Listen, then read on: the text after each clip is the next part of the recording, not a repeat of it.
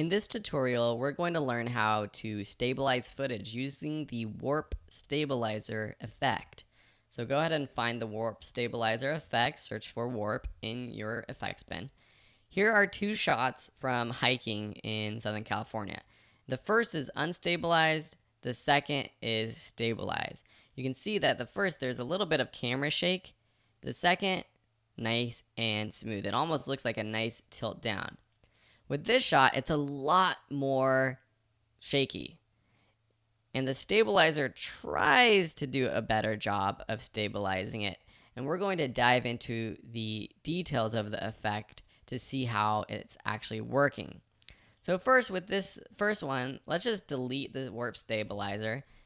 And you can see without, then when we add warp stabilizer, it analyzes it, it sees what's going on, it tries to see what's happening with the camera shake, and then it will apply it.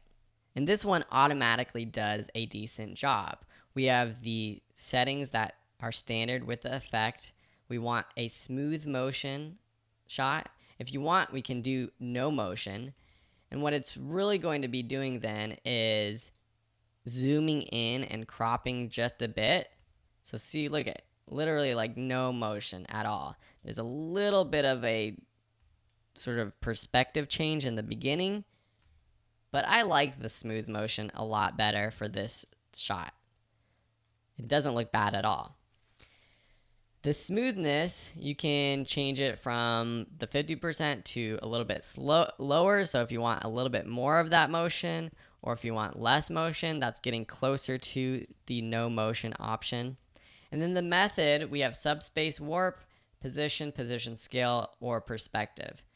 Position is just going to move the frame around to try to get it to be stable. Position, scale, and rotation will not only just move it around left, right, up, and down, but it will rotate and it will scale up if necessary. And with perspective, this will do a relatively good job because it's actually looking at your frame and it's kind of as if the camera angle was turning left, right, up, or down to get a different angle. That does a really good job for this shot. Subspace warp kind of combines everything and it will actually bend your image so that it looks stable or tries to make it look stable. Let's jump over to the hiking 3 clip. So without it, very unstable. With the effect, stable, but you get this gelatin effect. And I'm going to tell you up front that this shot, it's just too shaky to have a good stabilization in Adobe Premiere Pro. You can take it into After Effects or other programs and get it to be stable, but in Adobe Premiere Pro, there are some limitations. What we can try to do is change the subspace warp or change the smoothness. Maybe we don't want it as smooth. It's kind of counterintuitive when you're trying to make it more smooth. You think, oh, I want to make it 90% or 80%. But sometimes you have to decrease the stabilization so that you don't get that gelatin effect. So at 10%, you still get a little bit of that gelatin effect, but it's better than without it. So without it, super shaky. With it, I would say a little bit better. To see what's going on, let's change the borders framing from stabilize crop and auto scale to stabilize only. Look what's happening.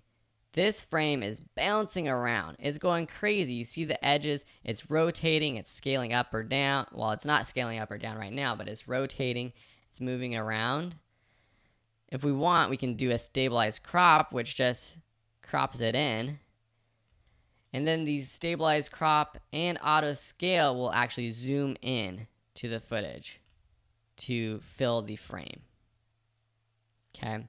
So these are a few options to play around with. If you have a shot and you're trying to get it stable, I would definitely play with the smoothness going lower or higher, and then the method. Sometimes subspace warp works better, but sometimes just perspective might look better. Then you don't get as much of that sort of jello effect. It's a little bit shaky still, but less of that jello. So that's the warp stabilizer in Adobe Premiere Pro.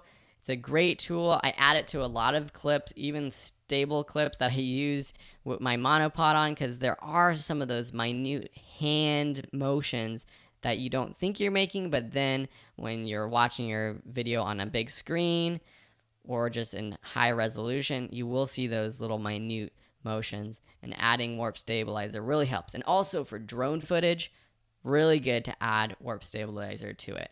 Thanks for watching, and we'll see you in another lesson.